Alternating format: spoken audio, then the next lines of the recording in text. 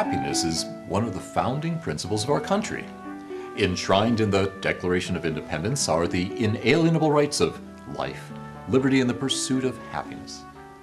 But what is happiness, and how do you pursue it? These are scientific questions, and over the last 20 years, we've come a lot closer to having the answers. In this presentation, we're going to talk about the science of happiness. What it really is, what it looks like in our brains, much of it is determined by our genes, and what neurobehavioral science suggests really works to enhance the chances of lasting happiness.